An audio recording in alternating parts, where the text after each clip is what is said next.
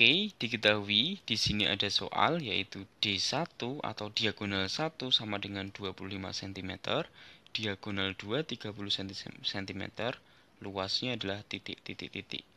Ditanyakan luas layang-layang tersebut. Kita jawab ya. Oke, untuk mencari luas layang-layang, ini bisa kita cari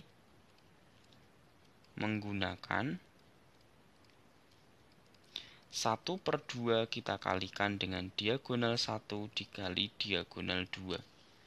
Oke, di sini diagonal satunya adalah 25 cm, setengah dikali 25, dikali diagonal 2-nya adalah 31. Hasil dari 25 dikali 31 adalah 775 dibagi dengan 2 sama dengan 387,5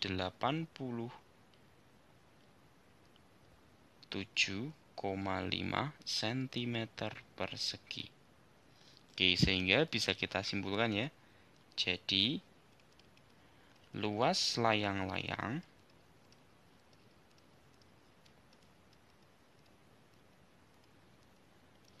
adalah